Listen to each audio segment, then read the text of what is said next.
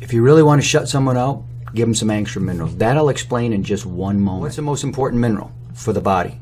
Without any doubt, magnesium. Okay, number two, iodine. Liquid angstrom iodine is a great way to get iodine in the body. Brown seaweed extract is another great way. Iodine as a molecule has the highest frequency of all the minerals that are required by the body.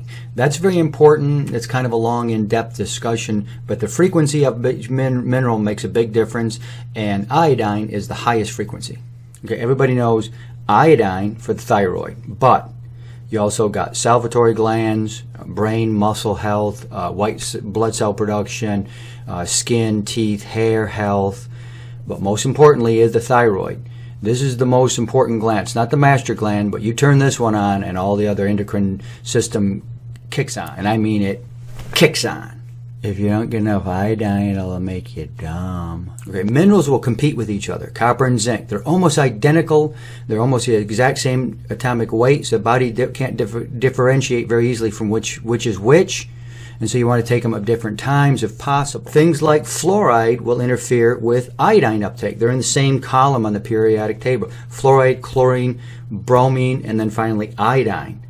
And then we put all this fluoride in our water, interferes with iodine uptake. Very difficult to find iodine in our diet. It's only really found in kelp, brown seaweed extract in any significant amounts. Okay, iodine deficiencies, couple quick ones. You know, you got the eye, the eyebrows don't grow all the way over the eyes, or the hands are out front when you're standing up. You know, you got this kind of thing instead of normal.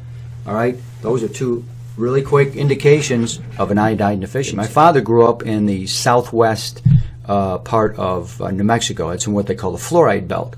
And you have huge amounts of fluoride in the water, 18, 20 parts per million. That's a lot and the entire family in family photos had the hands out like this. You know, there you go. Iodine deficiency. We've been fluoridated now for 70, 80 years, and um, it's a very small molecule, and uh, iodine is very large, and they're in the same periodic table. So this is what our receptors want to take in.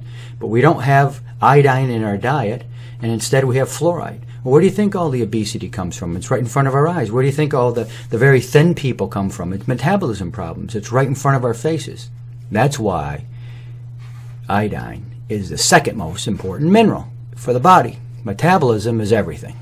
Okay, you're feeling groggy, 2, 3 o'clock in the afternoon, shot of liquid angstrom iodine, wake you right up. Iodine, second most important mineral for the body.